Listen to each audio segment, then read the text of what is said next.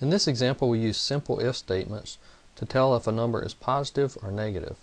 So the first step is we, we input the number uh, here.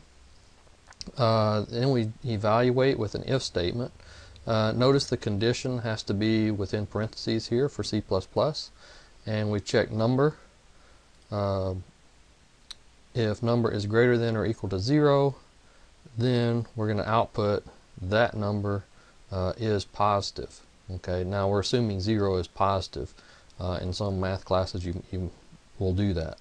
Um, if the number is less than 0 then we're going to output that number is negative. Okay, so let's uh, test that out.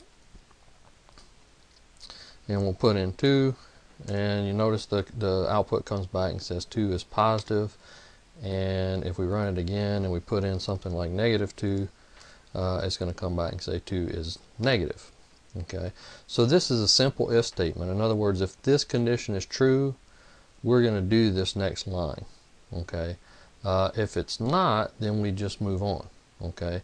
Uh, we can actually shorten this a little bit uh, instead of having two different conditions uh, notice they're kind of opposing because if it's greater than or equal to 0 it's not going to be less than 0 uh, and if it's less than 0 it's not going to be greater than or equal to and so that's how we get our if else so I'm just going to change this real quickly uh, we're going to put else in here and we'll get rid of that whole next line uh, we don't even need to ask that question again so if this is true if it's greater than or equal to 0 we're going to do the first thing. Otherwise, it must be less than 0, so we'll just say it's negative. Okay, and we can verify that. Uh, we'll compile it and run it. We'll put in 2, and notice it says the same thing. 2 is positive, and we'll execute it one more time to test the other side. And same result. Negative 2 is, is negative.